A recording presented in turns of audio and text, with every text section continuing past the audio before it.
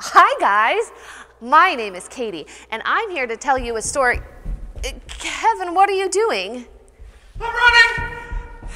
You're running? Why are you running? I'm so excited! You're so excited for OrchardKidz? So am I. Oh, Kevin, you keep running. I'm going to talk to the kids. So, twice a month, Kevin and I, and maybe a few random guests, will be joining you here and talking about Jesus. This week in March's activity bags, you may have seen a sheet that looks like this. That's the one you want to pull out for today. Today's story comes from Mark chapter 11, verses 1 through 11. I encourage mom and dad to read that with you.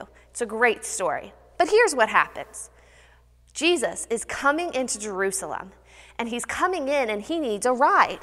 So he asks his disciples to go and find him a donkey. They bring him a colt that nobody has ever sat on before. When he sits on it, he rides into town, and people lay down blankets and leaves and all sorts of things and make a road for him to enter in. They thought he was the king. This month, we're going to learn that Jesus is king. Why don't you go ahead and grab your activity bags and join me back here and we'll practice our verse of the month. Okay, did you find your Bible verse coloring sheet? Our Bible verse this month comes from Mark chapter 11, verse 10. It goes like this Hosanna! Blessed is he who comes in the name of the Lord. Mark 11, 10. Let's try that again. Is it verse time? It is, Kevin. You want to join me? It goes like this. Ready? Hosanna! Blessed is he who comes in the name of the Lord.